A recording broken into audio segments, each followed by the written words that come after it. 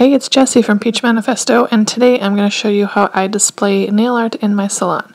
So I do have this big frame on the wall. I got this at Michael's, and it has that kind of chicken wire in the back. It came with a few of these clothespins, but I was able to find more of these mini clothespins at Michael's as well. So I'm going to, I'm working to change this up. Some of the designs I don't really like anymore or I don't really want to do, so why advertise them? Now, all these little tags you see are from Michaels as well. I usually pick them up on sale for really cheap. There's 24 to a package and they're just marked as tags by Craftsmart. Um, I have a few colors, but today I'm going to go with something neutral. I also get my glue stick and my glue gun from Dollarama because it's really cheap and it works good. So my idea behind changing these all up is I want them to look more cohesive like little sets and I want all the tags to kind of more or less be the same.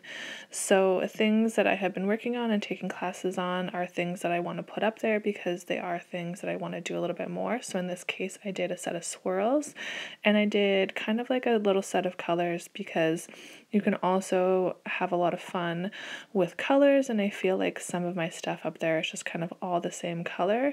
So I kind of want to encourage my clients to try different things, whether it be like the swirls or the crystals or just like see a really cute color combination. So these are just some ideas that I've had like a lot of my clients have been inspired by things that they've seen on my on my wall on that big frame or on um, a little picture frame beside my desk, which I will get to later. And so I just line them up after I put the hot glue on. You really only have a second to kind of get them straight, but this is kind of gives an idea of what a set could look like. And um, I think it looks really cute. I have my little extra tags, which I have a few that I need to put up on the wall as well because I feel like they're kind of hanging out. So I pop that right up on top.